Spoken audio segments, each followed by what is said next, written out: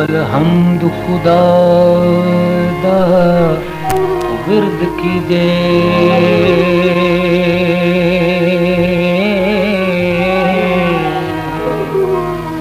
ਇਸ਼ਕ ਕੀਤਾ ਸੂ ਜਗ ਦਾ ਮੂਲ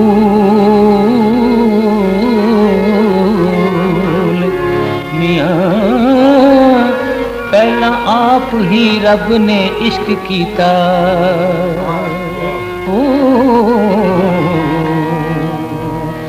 माशूक है नबी रसूल मिया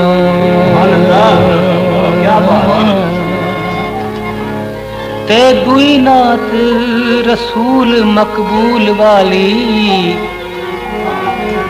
वो दुई नात रसूल मकबूल वाली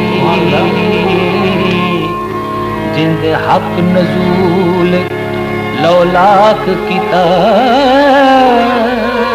خاکی آنکھ کے مرتبہ وڈا دیتا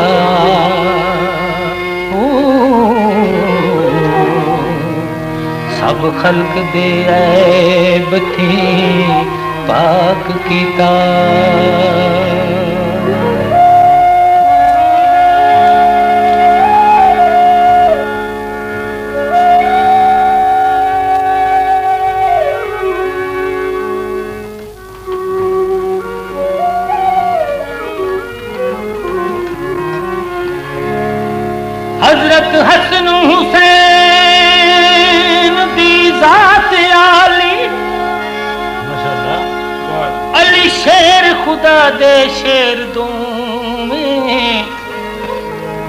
उ लख जिगर रसूल बतूल जाए।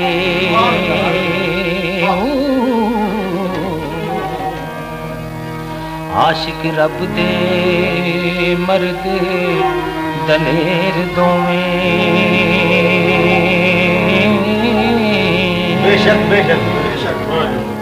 ते जदू ਇਸ਼ਕ ਦੇ ਕੰਮ ਨੂੰ ਹੱਥ ਲਾਈਏ। ਪਹਿਲਾਂ ਰੱਬ ਦਾ ਨਾਮ ਤਿਹਾਈਏ।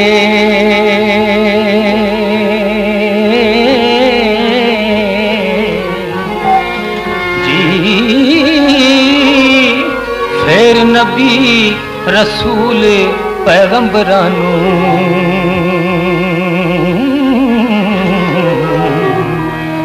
تے دم دم درود پہنچائے جی۔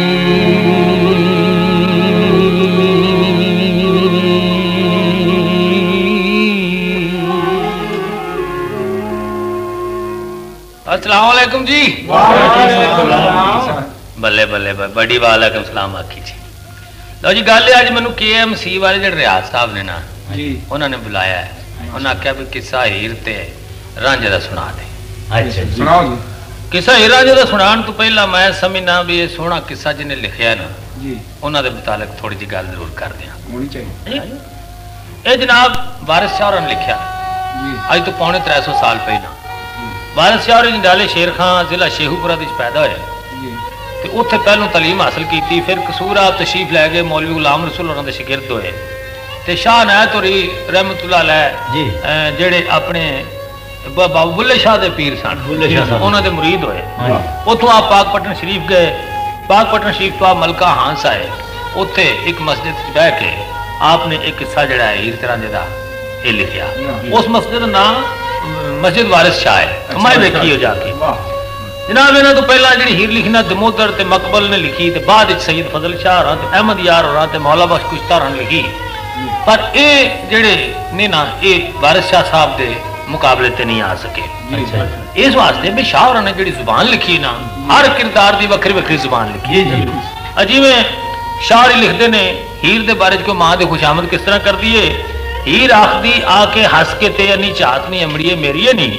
ਪਰ ਜਿਹੜੀ ਮਾਂ ਕੋ ਗੁੱਸੇ ਨਾਲ ਕੀ ਜਵਾਬ ਦਿੰਦੀ ਏ ਕਿ ਗੁੱਸੇ ਨਾਲ ਆਖੇ ਮਲਕੀ ਹੀਰ ਤਾਈ ਸਾਨੂੰ ਪੱਟੇ ਹੀ ਚਾਕਦੀ ਚੇਰੀਏ ਨਹੀਂ।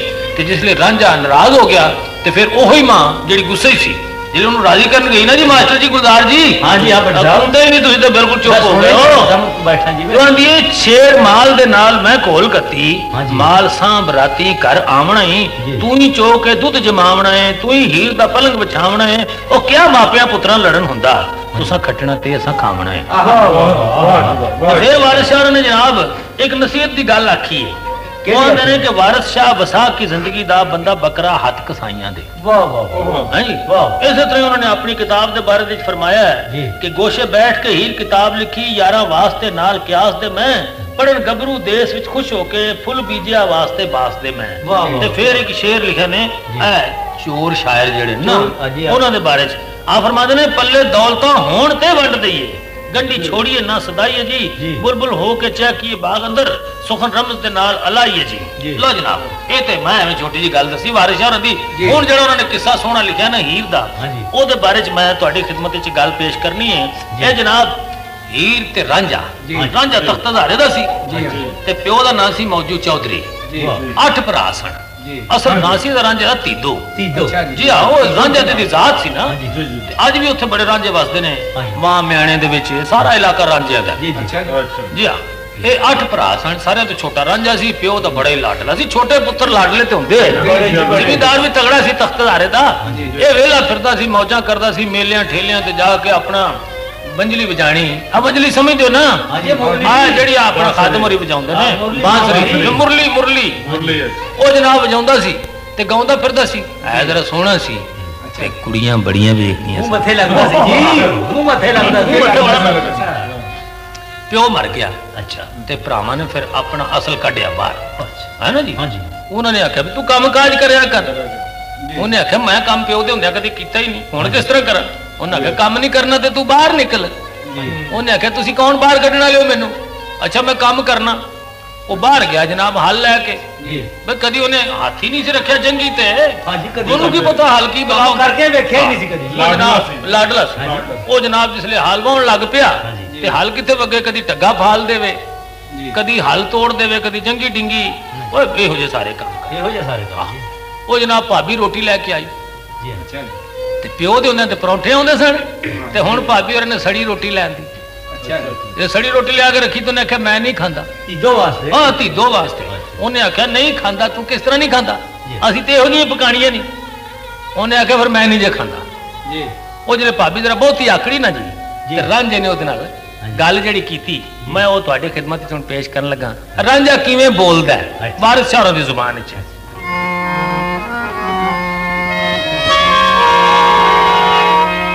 ਰਾਂਝਾ ਆਖਦਾ ਪਾਬੀਓ ਬੈਰਣੋ ਨੀ।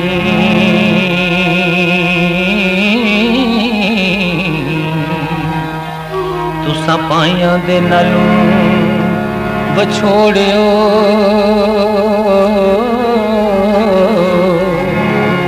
ਜੇ ਖੁਸ਼ ਰੂਹ ਨੂੰ ਬਹੁਤ ਦਿਲਗੀਰ ਕਰਕੇ ਓ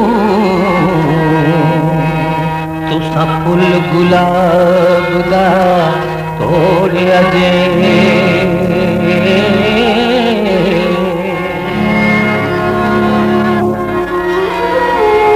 ਸਕਿਆ ਪਾਇਆ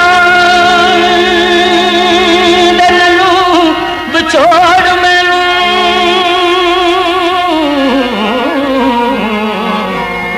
ਕੰਡਾ ਵਿੱਚ ਕਲੇਜ ਦੇ ਓੜਿਆ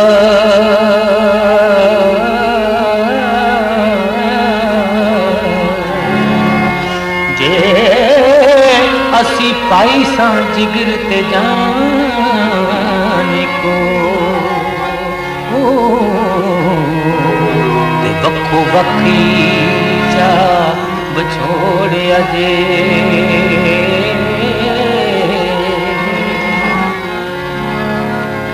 ਤੇ ਤੁਸਾਂ ਫਿਕਰ ਕੀਤਾ ਸਾਡੇ ਕੱਢਣ ਦਾ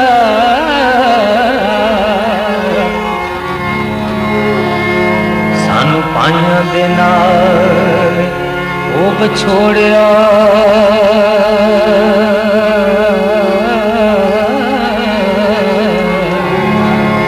ਜੇ ਨਾਲ ਕਰਦੇ ਅੱਖੀਆਂ ਕੱਢ ਪਾਵੀ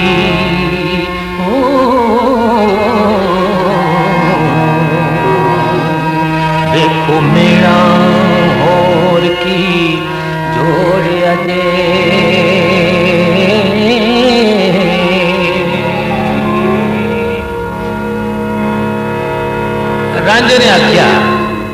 ਜਿਹੜੀਆਂ ਭਾਬੀਆਂ ਨਾ ਇਹ ਅਸਲ ਵਿੱਚ ਇਹ ਆਣ ਪਰਾਈਆਂ ਜਾਈਆਂ ਤੇ ਵਿਛੋੜਨ ਸਕੀਆਂ ਪਾਈਆਂ। ਇਹ ਤੁਸੀਂ ਮੈਨੂੰ ਭਰਾਵਾਂ ਨਾਲ ਵਿਛੋੜਿਆ ਜੇ। ਤੇ ਭਾਬੀ ਵੀ ਬੜੀ ਨਟਖਟ ਸੀ ਜਨਾਬ। ਬੜੀ ਸਿਆਣੀ ਸੀ ਬੜੀ ਨਟਖਟ ਜੀ। ਪੱਕੀ। ਹਾਂ ਉਹਨੇ ਆਖਿਆ ਵੀ ਤੂੰ ਬਹੁਤੀਆਂ ਗੱਲਾਂ ਨਹੀਂ ਕਰ ਸਕਦਾ ਮੈਂ ਤੇਰੇ ਨਾਲ ਵੱਧ ਬੋਲ ਸਕਨੀ ਆ ਤੇ ਭਾਬੀ ਜਨਾਬ ਕੀ ਆਖਿਆ? ਚੱਲ ਹਾਂ ਬਾਈ ਭਾਬੀਏ